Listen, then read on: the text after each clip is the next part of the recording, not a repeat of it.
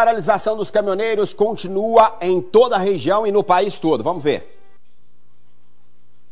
Cerca de 150 caminhões estão estacionados no pátio deste posto de combustíveis, às margens da MG 050 em Divinópolis.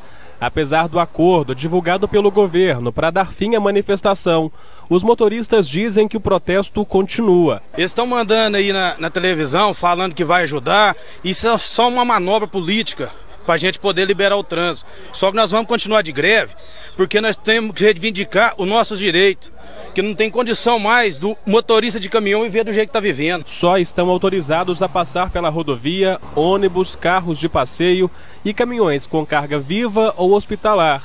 A proposta do governo federal de congelar o preço do óleo diesel por um mês e reduzir alguns impostos não convenceu a categoria. Não, nós não estamos tá aqui para isso. Nós estamos aqui, ó, não é para lutar só por nós.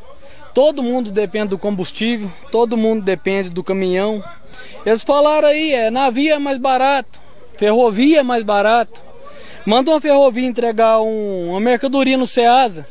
Manda uma mercadoria entregar uma ferrovia entregar mercadoria de porta em porta de mercado, ver se entrega. Não entrega. Nesta sexta-feira, a manifestação entra no quinto dia. Para aguentar o período longe de casa, os caminhoneiros montaram um acampamento e até um fogão para cozinhar as refeições. Edmar é de Foz do Iguaçu, no Paraná.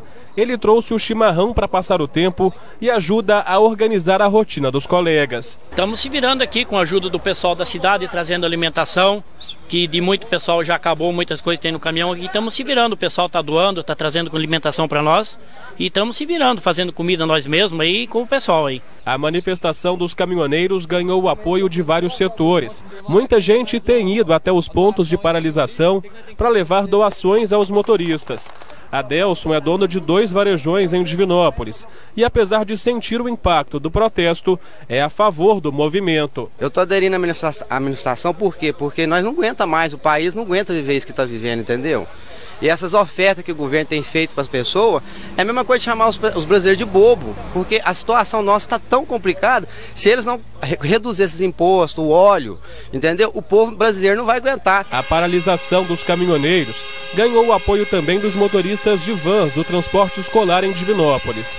Vários deles fizeram um buzinaço pelas ruas do centro da cidade. Aqui na região centro-oeste, a manifestação dos caminhoneiros continua em 26 pontos de paralisação em várias rodovias.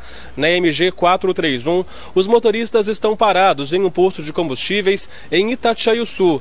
Na BR 494, há bloqueios em Cláudio e em Itapecerica. Na BR 262, em Igaratinga, Joatuba e Luz. E na BR 381, em Oliveira. A manifestação também acontece em Formiga, Córrego Fundo, Arcos, Bambuí, Moema, São José da Varginha e Martinho Campos. Sem previsão para o fim do protesto, já não há mais combustível na maioria dos postos de Divinópolis. Nos supermercados, algumas mercadorias já sumiram das prateleiras. Nos açougues, as carnes estão acabando e a previsão não é nada animadora. Até então, nós estávamos com problemas localizados na área de perecíveis mas nós já recebemos anúncios que a partir de hoje não será entregue nenhum tipo de bebida no supermercado e o principal fornecedor nosso de arroz e feijão também paralisou as, a, a, as entregas devido à falta de produto que eles não estão recebendo. E até a gente esperava uma, uma, uma resolução mais rápida dessa questão para que não houvesse um desabastecimento, mas a partir de hoje nós já consideramos que estamos na iminência de um caos no abastecimento das prateleiras do supermercado. Muda Brasil. Muda Brasil, senão a coisa vai continuar como está.